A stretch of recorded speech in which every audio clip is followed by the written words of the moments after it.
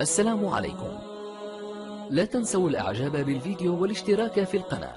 تشجيعا لنا لنستمر بنشر المزيد إن شاء الله. إن أعجبك الفيديو لا تنسى الإعجاب والاشتراك في القناة.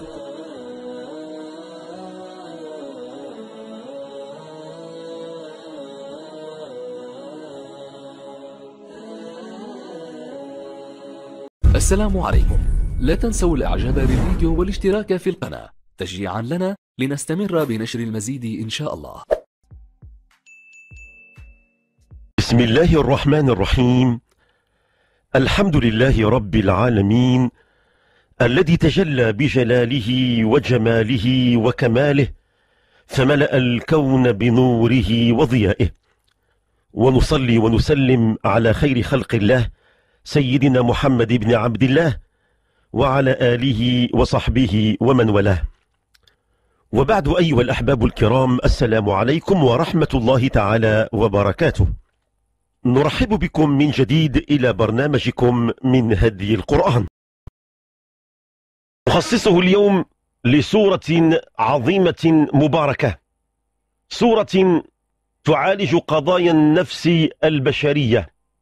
سورة أنزلت على قلب النبي المصطفى صلى الله عليه وسلم وأثرت فيه تأثيرا عظيما وكان يتلوها على صحابته ويطلب منهم أن يدعوا بعد قراءتها.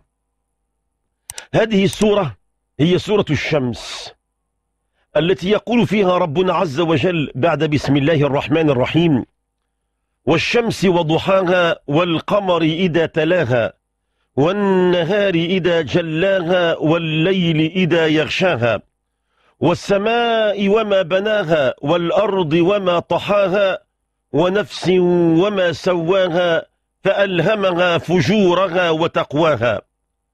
قد أفلح من زكاها وقد خاب من دساها. كذبت ثمود بطغواها إذ انبعث أشقاها فقال لهم رسول الله ناقة الله وسقياها فكذبوه فعقروها. فدمدم عليهم ربهم بذنبهم فسواها فلا يخاف عقباها. هذه السورة المباركة نزلت وما زال الإسلام غريب وما زال الصحابة مستضعفين في الأرض. نزلت بعد سورة عبس وتولى. حينما عقد النبي الكريم ذلك اللقاء مع كبراء قريش ومع زعمائهم ومع أثريائهم طمعا في أن يسلموا فيتقوى بذلك ظهر الإسلام وتتقوى بيضة الإسلام وشوكة الإسلام ولكن أبوا أبوا ذلك. لماذا؟ لأن عبد الله بن أم مكتوم أفسد على النبي الكريم صلى الله عليه وسلم حواراته مع هؤلاء الكبراء. فنزل قول الله تعالى عبس وتولى أن جاءه الأعمى. وانصرف الناس عن النبي الكريم ولم يريدوا أن يسمعوا كلام الله.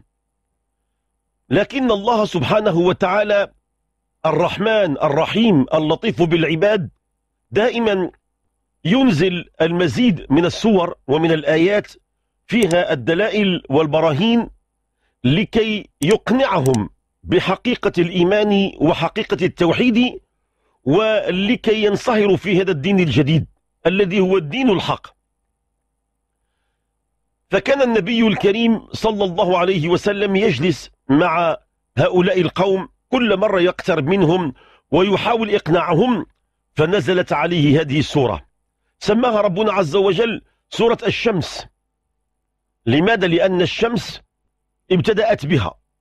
وكلمة الشمس كلمة وردت في القرآن الكريم 33 مرة لأنها مظهر عظيم من مظاهر قدرة الله على الخلق. فأول الكلام قال ربنا عز وجل والشمس وضحاها بدأ بالقسم. وكأنه يلفت أنظار هؤلاء الكفار والمشركين والملحدين والمتشككين يقولون لهم إذا كنتم تشككون في أمر هذا الدين وفي الخالق فانظروا إلى السماء انظروا ارفعوا رؤوسكم وانظروا إلى الشمس والشمس هذا الكوكب المنير السراج الذي هو وهاج هذا الكوكب الذي فيه طاقة خطيرة به تضيء الكرة الأرضية برمتها. وحينما يغيب نحتاج إلى مصابيح شتى. هذه الشمس ترسل لنا أشعتها الدافئة وبها يقع التمار والزروع ونهضة زراعية وفلاحية عظيمة. وفيها استشفاء للأمراض والأسقام. هذه الشمس عظيمة. ربنا عز وجل يقسم بها ويلفت الأنظار والشمس وضحاها خصوصا عند الضحى. لما ينتهي الليل ويبدأ النهار وتبدأ الشمس بالاستيقاظ من نومها تشرق من مشرقها. تسطع. منظر رهيب. منظر عجيب. أيها الأحباب الكرام انتبهوا التفتوا إلى إلى إلى هذه المظاهر إنها معجزات دالة على وجود الخالق وهي بحسبان تصعد بالدقيقة والثانية. لا يمكن أن تتأخر وحينما تسطع إنها تقدم خيراتها للخليقة أجمعين والشمس وضحاها والقمر إذا تلاها. ربنا يقول لنا انتبهوا إلى القمر. حينما تغيب الشمس ويأتي ظلام الليل فإني أرسل إليكم القمر منيرا وكأنه مصباح خفيف حتى تناموا في هدوء واطمئنان فهو يضيء عليكم دون أن يزعجكم. انظروا القمر والقمر إذا تلاها هناك حركة دؤوبة بعد أن تغيب الشمس يسطع القمر. وهنا هذه الحركة هي متتالية والقمر إذا تلاها والنهار إذا جلاها. يا عباد الله اذكروا نعمة الله عليكم بالنهار. النهار هو عطاء. حينما يأتي يوم جديد هذا رزق جديد وهذا فتح جديد وهذه فرصة ذهبية جديدة. النهار غدا إن شاء الله سيأتي نهار جديد. فيه بركة لابد أن نحمد الله ونشكره على هذه النعمة. والنهار إذا جلاها النهار فيه جلاء فيه وضوح. تصوروا بأن لو كان في النهار غمام أو كان فيه ظلام أو كان فيه سحب مظلمة أو مقفهرة كيف سيكون حالكم؟ لكن النهار فيه جلاء فيه شمس وفيه ضياء وفيه رحمة وفيه نور وإشراق. والنهار إذا جلاها والليل إذا يغشاها الليل لما تنامون وتشعرون بهدوء تام ربنا عز وجل يسكت حركية الوجود ويقول لكم ناموا ناموا في روح وريحان فينام عباد الله تعالى نومة عميقة طيبة مباركة.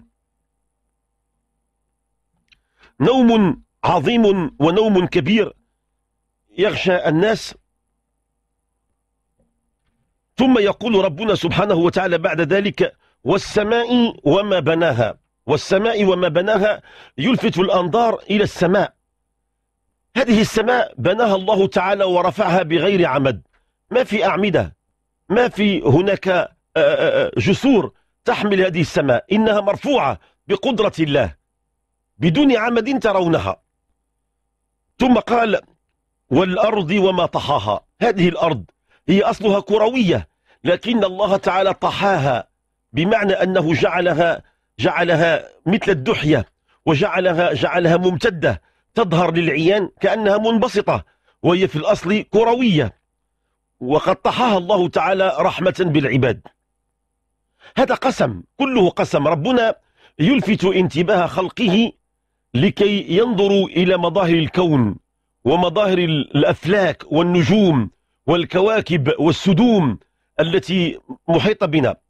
نحن أحيانا ننسى هذه المظاهر ونلتفت إلى المشاكل اليومية. أزمة سكن أزمة نقل أزمة مواصلات حرية تعبير حرية تجمهر. في قضايا ضيقة جدا. وننسى القضايا الكبرى أننا نتأمل في جلال الله وعظمة الله. فربنا يقول لنا يا عباد الله إياكم أن تغفلوا. تأملوا في جلال الله. النبي الكريم صلى الله عليه وسلم كان كلما جاء غم عليه الليل ونظر كان يبكي. مرة دخل عليه بلال وهو يبكي. قال ما يبكيك يا رسول الله؟ قال كيف ولا أبكي؟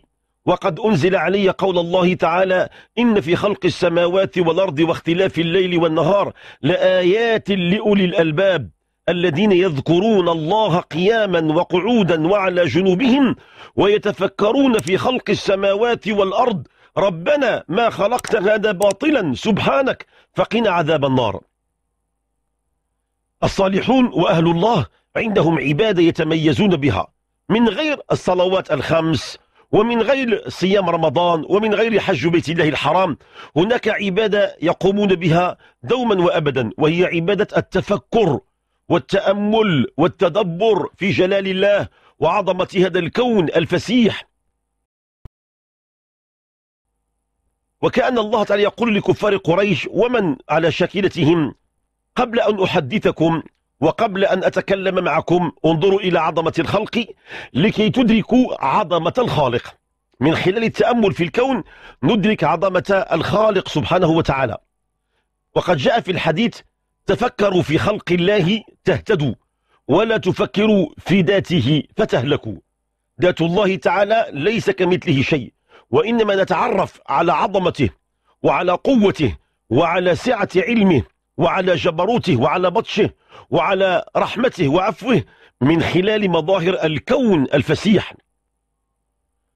وكل شيء دال وشاهد على أنه الواحد سبحانه وتعالى.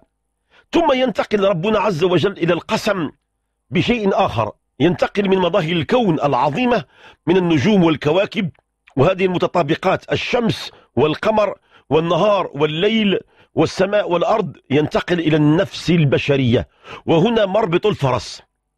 فالسورة المباركة تريد أن تحلل لنا قضية النفس البشرية. إذا كنت أيها الإنسان لا تهتم بالكون والأفلاك والنجوم وليست عندك أريحية لكي تتأمل وتتفكر في الوجود لكن رغما عنك سوف تتفكر في نفسك التي تحملها بين جوانحك. هذه النفس سوف تتعبك. هذه النفس سوف تجعلك شقيا. هذه النفس ستجعلك مرتبكا وتبحث عن حقيقة ما الذي تعاني منه. هنا ربنا عز وجل قال بعدها ونفس وما سواها فألهمها فجورها وتقواها. كل هذا الكلام لكي يصل ربنا عز وجل للحديث عن النفس البشرية. وهي أخطر ما خلقه الله تعالى. لأن هذه الكواكب هي مبرمجة هي مخلوقة ومصنوعة وعندها نظام دقيق لا يمكن أن تخرج عنه مثل الساعة. هي مبرمجة برمجة إلهية. لكن النفس البشرية التي نحملها بين جوانحنا هي خلق عظيم خلقه الله تعالى ومتقلب. وفيه دقائق وفيه حقائق وفيه رقائق وفيه موانع وفيه عكوسات وفيه فتوحات وفيه إشراقات. النفس البشرية غريبة. يصورها علماء النفس أنها مثل الكمان مثل الجيتار. هذا الكمان فيه أوتار. نفسك هي عبارة عن أوتار. الأوتار النفسية مثل الأوتار الموسيقية. فيها متقابلات. كل وتر يقابله رنة متقابلة عكسية. في حب في كره. في خوف في رجاء. في أمل في يأس في تفاؤل في تشاؤم في مشاعر متداخلة أحيانا. النفس البشرية غريبة تحدث عنها القرآن الكريم كثير في مختلف الآيات ونفس وما سواها فألهمها فجورها وتقواها. تكلم مرة وقال إن النفس لأمارة بالسوء ومرة أخرى قال لا أقسم بيوم القيامة ولا أقسم بالنفس اللوامة. تلوم صاحبها. ثم ترتقي هذه النفس فتصير نفسا مطمئنة. نفس المؤمنين الصالحين. يا أيتها النفس المطمئنة ارجعي إلى ربك راضية مرضية فادخلي في عبادي وادخلي جنتي. مشكلة البشرية الأولى هي مشكلة النفس. الحروب التي تقع في العالم والدمار والخراب والظلم والإيداء والحجرة وأكل أموال الناس بالباطل كل هذا رغم هناك قوانين مكتوبة ومصادق عليها من طرف برلمانات وهناك مواثيق وعهود كل ذلك كله على الورق. المشكل الأكبر مشكل في النفس. إذا كانت النفس البشرية طيبة وكانت صالحة وكانت طاهرة وكانت نقية لا لا نحتاج حتى لهذه القوانين. لا نحتاج حتى هذه لهذه المؤسسات التي ترعى القوانين. لأن الإنسان بنفسه سوف يكون طيبا مسالما ويكون فاعلا إيجابيا. أما إذا كانت هذه النفس فيها الخيانة والخداع وفيها الظلم وفيها حب التملك وحب السيطرة والبطش فنحتاج إلى الكثير من المؤسسات وأجهزة الرقابة وأجهزة المحاسبة ونحتاج إلى المحاكم وإلى السجون وإلى قوة الردع نفس غريبة. ونفس وما سواها فألهمها فجورها وتقواها. الإلهام. هناك الإيمان بالله تعالى إذا آمن العبد وإذا سلم أمره إلى الله ربنا يعطيه الإلهام. قد تجد هناك أناس بسطاء؟ عندهم ثقافة عامية بسيطة لكن عندهم إلهام عظيم وعندهم معارف وعندهم فتوحات. حينما تجالسه تلتمس منه الحكم واللطائف لماذا؟ لأنه آمن بالله وخضع لجلاله فألهمه الله. هناك الإلهام. دعونا من العلم الكسبي الذي يحتاج إلى مدارس ومعاهد عليا وجامعات ويحتاج إلى أساتذة خبراء ويحتاج إلى دروس وإلى امتحانات وإلى توزيع شواهد مصدقة عليها. هذا علم كسبي. هناك علم آخر رباني علم لدني. هذا العلم المبارك ربنا يعطيه بالإلهام. لذا قال فألهمها فألهمها الإلهام. هناك من يحرم الإلهام. هناك من يقرأ كل شيء. يقرأ في الاقتصاد وفي العلوم السياسية وفي الفيزياء والكيمياء وفي طبقات الأرض وطبقات الجو والطب والفلسفة وكل العلوم. لكنه حرم الإلهام. لأنه لا يؤمن بالله وأنه لا يخضع لجلال الله فيغلق عنه الله تعالى باب الإلهام فيبقى يدور في حلقة مفرغة. ونفس وما سواها. ربنا يقسم بالنفس. والمقسم عليه هو أو جواب القسم هو فألهمها فجورها وتقواها. هناك نفس أعطاها الله تعالى الفجور وهناك من ألهمها التقوى. هذه اللحظة هذه اللحظة هناك أناس في طاعة. منهم من يصلي منهم من يقرأ القرآن منهم من يسبح لله منهم من يتابع برنامج ديني منهم من يتذاكر مع أهل الله. وفي أناس الآن متلبسين بمعصية. الآن هذه اللحظة قد يكون في مكان ما يشرب خمرا يقع في زنا يأكل أموال الناس بالباطل يظلم يسيء. فهذه النفس في كل وقت وحين تشتغل. فألهمها فجورها وتقواها فيقرر ربنا عز وجل ما هو الأساس. قد أفلح. قد أفلح من زكاها وقد خاب من دساها. أفلح الذي يقوم بتزكية نفسه التزكية. تزكية النفوس تكون بأن يكون العبد قريبا من ربه والقرب إنما يتحقق بالمحافظة على الصلوات الخمس والمحافظة على جلسة الذكر مع أهل الله وأنك ترافق الأخيار الأبرار ولا تغيب عن كلام الله. دائما تسمع القرآن الكريم وتسمع الدروس والمواعظ. هنا تتزكى النفس. ونفس وما زكى قد أفلح من زكاها. التزكية. والتزكية يقول فيها العلماء المؤدبون يقولون هناك التخلية قبل التحلية.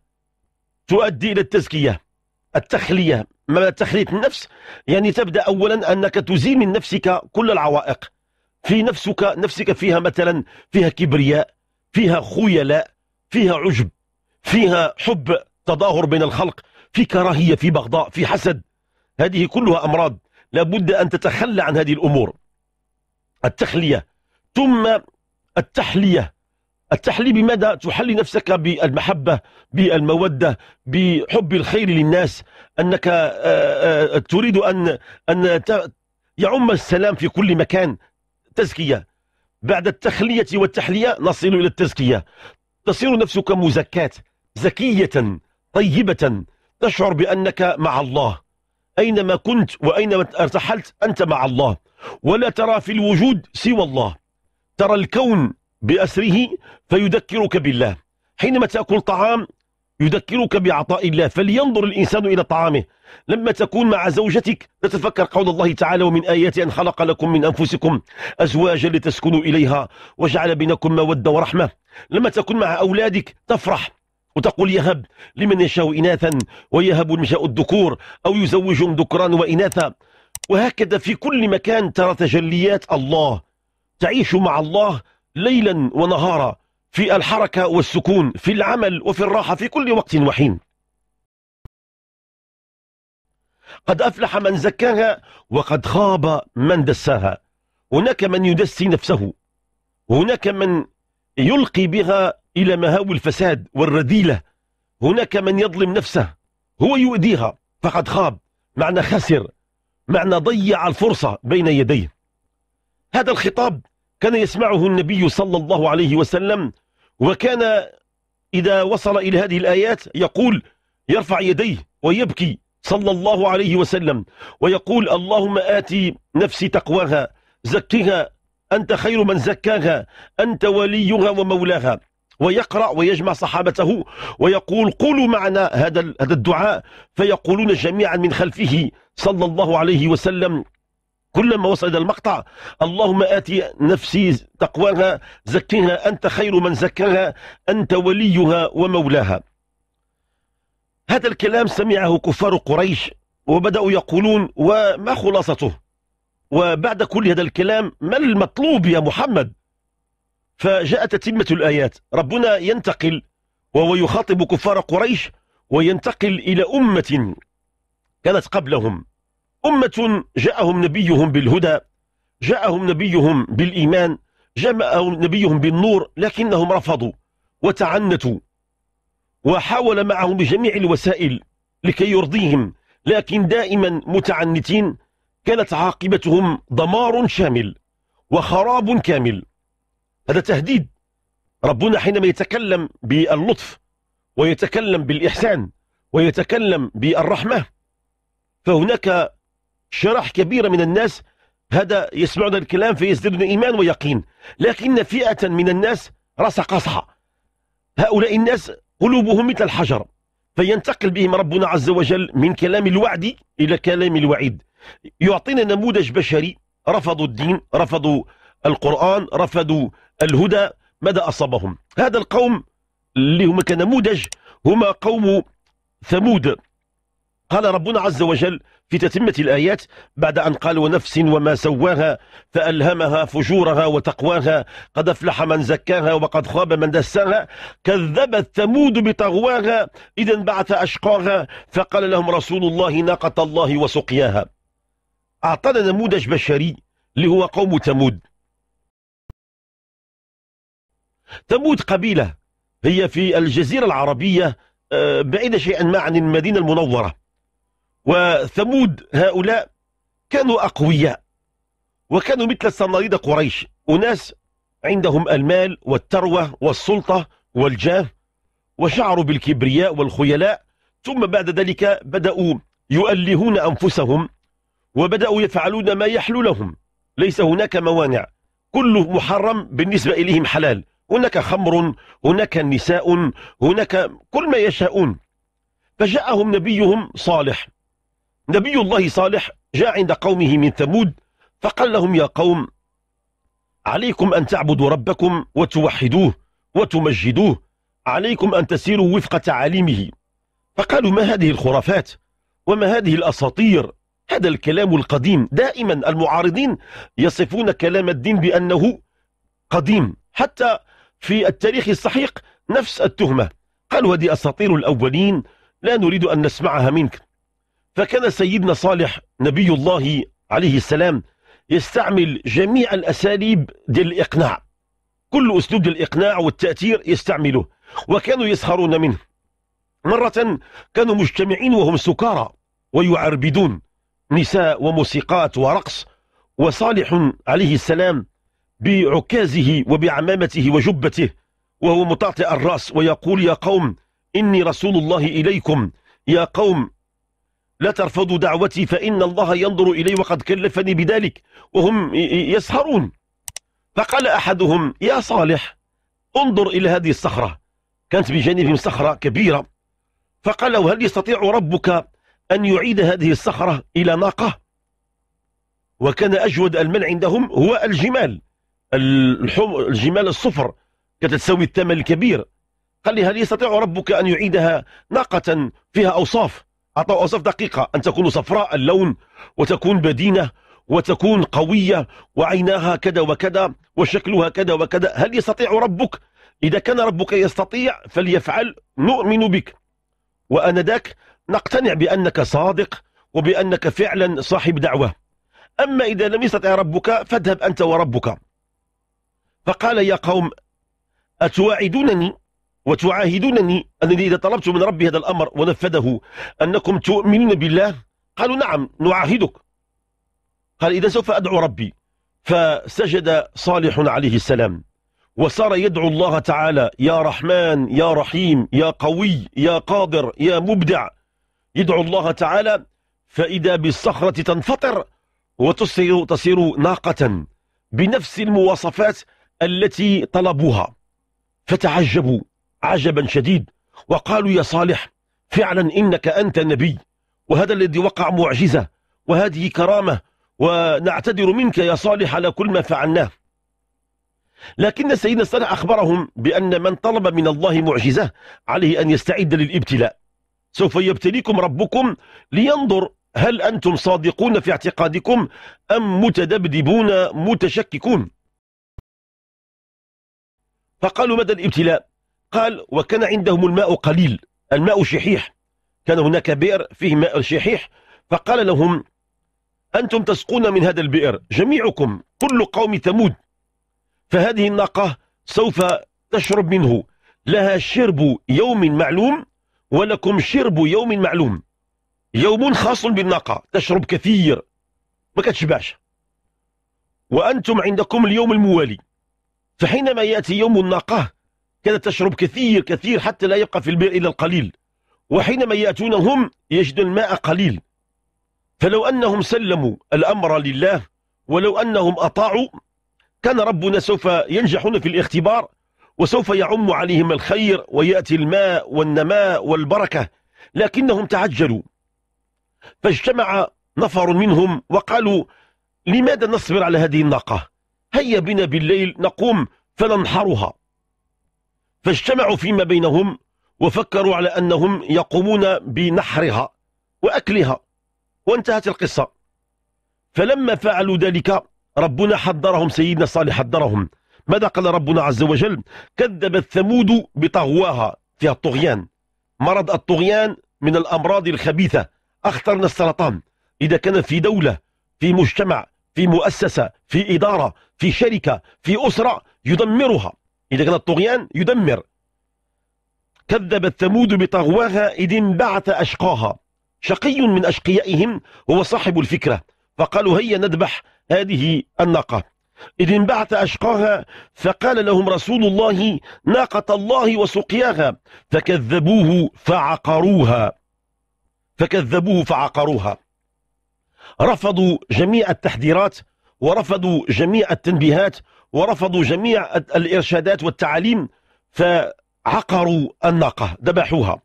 ما الذي وقع؟ فدمدم عليهم ربهم بذنبهم فسواها فلا يخاف عقباها. فدمدم كلمة دمدم. يقال دمدمت البئر إذا ردمته ردمته بالتراب والصخر وصار سويا مع الأرض. هذا كلمة دمدم معنى دمدم عليهم ربهم بذنبهم. ربنا لم يظلمهم وإنما بسبب ذنوبهم وعصيانهم وتعنتهم فدمدم دمدم بمعنى لك أن تتخيل أن ربنا عز وجل جعل عاليها سافلها. قلب عليهم الأرض. الأرض قلبات جعل عاليها سافلها. وأمطر عليهم مطرا. فساء مطر المنذرين. مطر بالحجارة. ليس مطر بالغيث بالماء بالحجارة. فدمدم عليهم ربهم بذنبهم فسواها. بعد أن وقعت مثل البراكين والزلازل سواها. صارت الأرض مستوية. لما انتهت القضية الأرض صارت مستوية وكأن شيئا لم يقع. أرض تظهر لك كأنها لا زالت بكرا منذ عهد آدم عليه السلام. وقد كان فيها أقوام وفيها حركة دؤوبة تجارية وحركة اقتصادية وأناس وبنايات كل شيء صار تحت الأرض وصارت الأرض مستوية فسواها فلا يخاف عقباها. لا يخاف عقبها يعني ربنا عز وجل لا يخاف. من يخاف؟ هل ربنا يخاف؟ هل يخاف من أن هؤلاء القوم سوف يبعثون وينتقمون من الإله؟ ربنا لا يخاف. الذي يخاف هو الدول الزعماء. زعيم قد يعاقب دولة فيخاف من أن تقوم هناك حركات ثورية وتقوم هناك ميليشيات ويمكن أن تصل إليه ويمكن أن تؤذي أقاربه. يخاف. كل الناس يخافون. البشر فيه نفس بشرية فيها الخوف. لكن الله تعالى لا يخاف. ربنا إذا فعل الشيء يفعله. من يستطيع أن يواجهه؟ وهو على كل شيء قدير. فلا يخاف عقباها. لا يخاف العاقبة. كان النبي محمد صلى الله عليه وسلم يقرأ هذه الآيات على مسامع كفار قريش لعلهم يرتدعوا وقد أعطاهم صورة متكاملة عن الشمس وضحاها والقمر إذا تلاها وعن هذه الكواكب والنجوم والنهار والليل والسماء والأرض. أعطاهم قدرة الله على الخلق ثم أعطاهم نبذة معمقة عن النفس البشرية التي بين جوانحهم ثم أعطاهم نموذج لمجتمع بشري رفضوا الدين فكان عاقبتهم الدمار. هذه السورة أيها الأحباب الكرام سماها ربنا سورة الشمس وفيها من الآيات الدالة على وجوده. وفي تفسيرها الناس كانوا أشكال كان هناك بعض الشيعة يفسرون كلاما كلاما سياسيا كلاما لا يليق. منهم من أراد أن يفسر فقال ما معنى الشمس وضحاها؟ قالوا هو فسروها قالوا هو محمد رسول الله صلى الله عليه وسلم والقمر إذا تلاها يعني سنويه قالوا هو سيدنا علي بن أبي طالب والنهار إذا جلاها قالوا هو الحسن والحسين خرجوا من علي والليل إذا يغشاها قال هم حكام بني أمية وقد محاهم الله من الأرض. هذا كلام تفسير يسمى تفسير مغرض تفسير سياسي وتفسير له علاقة بحطام الدنيا ورغبة في الحكم. أما تفسير أهل الإيمان واليقين فلا شأن لهم بالدنيا ولا بنعيمها. يكسفون بما أعطاهم ربنا عز وجل من أرزاق ويشرئبون بأعناقهم إلى الدار الآخرة للقاء الله سبحانه وتعالى. أسأل الله تعالى أن يحبب إلينا الإيمان ويزينه في قلوبنا ويكره إلينا الكفر والفسوق والعصيان ويجعلنا من عباده الراشدين.